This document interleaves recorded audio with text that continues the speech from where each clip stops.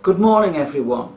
I'm sorry I can't be with you today, but I'm very pleased to have this opportunity to welcome you to today's conference where we will look at how primary care can make a difference in treating dementia. It's an important milestone in our work in the Southwest to improve the experience of people living with dementia and the experience of their carers and families. The role of the GP and the primary healthcare team is central to people with memory problems, as well as those with dementia, and it is a role which perhaps has not yet had sufficient focus. Diagnosis rates in the south of England and in the southwest specifically are amongst the lowest in the country. That is a shocking statistic and we know that it is not just about the numbers of people on dementia registers but it's about the support that we're able to offer those with a diagnosis. It has got to be about people recognising when they or their loved ones are getting into difficulties. It is important that at that stage they can go to their GP and know that their concerns will be heard and they will get the help they need. We hear a lot about diagnosis rates, but not about the quality of the diagnosis pathway. Too often, people who have received a diagnosis of dementia speak of feeling abandoned from that point. GPs and primary healthcare teams must have the confidence that when memory problems are identified, and indeed when a diagnosis of dementia is evident, they know what to do next. It is important that across the spectrum of health, social care and the third sector, that services are available in the community to support the individual, their carer and their families. It is vital that people get the right type of information and support at the right time, whether they are living at home, in a care home or in a hospital.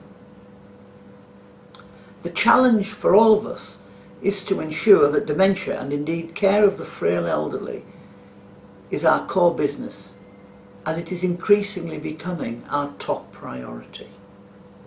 It is vital to ensure that excellent care for the frail elderly is the norm rather than the exception, and ensuring that a diagnosis of dementia is not a disaster for any family, but the beginning of a new treatment pathway where they will receive help, support and their loved ones, wherever possible, can improve and enjoy a high quality of life. It is important to ensure that a diagnosis of dementia is delivered sensitively, in the right way and at the right time.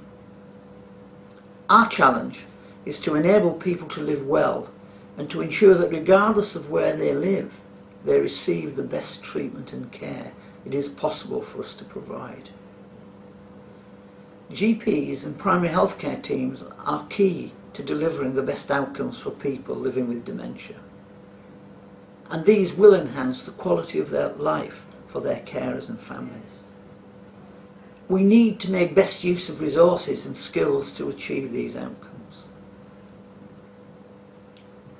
Partnerships with our deaneries is key to ensuring that GPs and primary healthcare teams have the skills to do the job.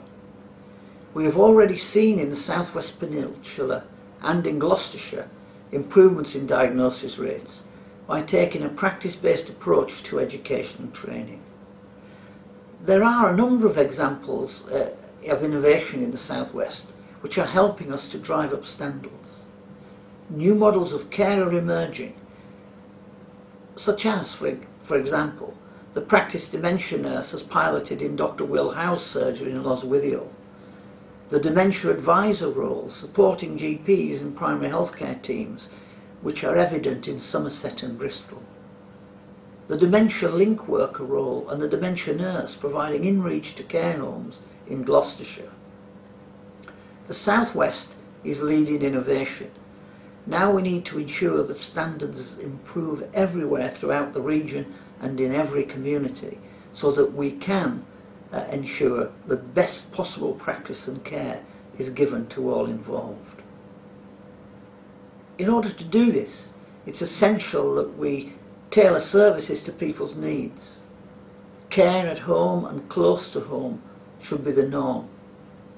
It's vital that we ensure dignity, choice and equitable access to high quality care, regardless of the setting, uh, is our norm and not the exception.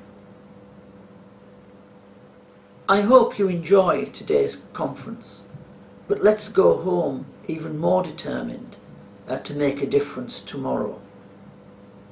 I wish you well for a challenging and productive day and look forward to hearing the outcome from the conference as it is important that we take the next steps to improve care for those people living with dementia, their carers and families.